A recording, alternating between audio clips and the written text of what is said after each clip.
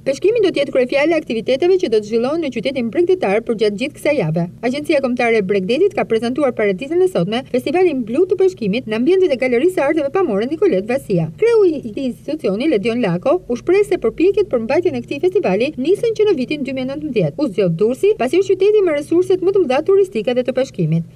I gjithë ky projekt ka si qëllim zhvillimin e turizmit dhe turizmit të peshkimit. Aktualisht projekti po zhvillohet në këtë moment dhe quhet Festivali Europian Blu, pra po zhvillohet me gjashtë vende europiane, të cilat janë Greqia, Mali i Zi, Italia, Spanja dhe Portugalia. Qëllimi i këtij projekti është që të kemi një paketë turistike nga këto vende dhe kjo paketë turistike të promovohet me të gjitha vlerat që kanë këto vende, jo vetëm të industrisë së peshkimit, por edhe të turizmit të peshkimit, të apasionuarve mbas peshkimit, por dhe të peisazhit detar dhe peisazhit kulturor që ka ky qytet.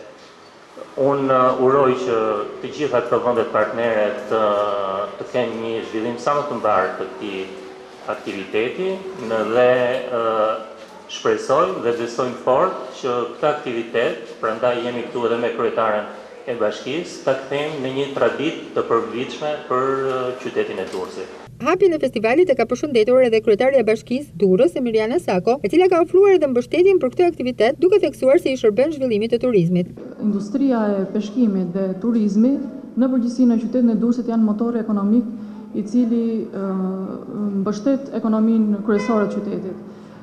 Duke qenë se kemi një rol kaq shumë të rëndësishëm të industrisë, duhet që nëpërmjet këtij aktiviteti, të cilin do tentojmë ta kthejmë në të përvitshëm, të kemi mundësi që të këta operatorë turistikë qytetit tonë, por dhe bizneset të kenë mundësinë jo vetëm të promovojnë vlerat e tyre, por të bashkëpunojnë dhe të forcojnë një rrjet i cili mbështet njëri-tjetrin në mënyrë që të kemi një mundësi për bashkëpunim të vazhdueshëm dhe për promovimin të vlerave turistike të qytetit tonë. Shpresoj që kjo aktivitet do të kthehet në një traditë, ku gjithë bizneset do të kenë mundësinë që të bëjnë promovimet e tyre dhe të shpalosin mundësitë e tyre në panairin që do të zhvillohet.